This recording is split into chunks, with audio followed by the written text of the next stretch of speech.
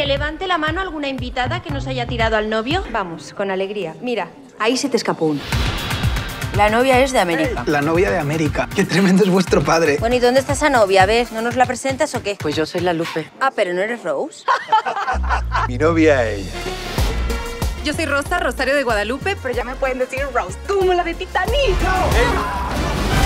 La chica no está tan mal, ¿eh? Y no te das cuenta de que puede ser una estafadora. ¿Qué dice España? ¿Quién es esta pinche cacatúa, cabrón? No te acerques que me pongo loca.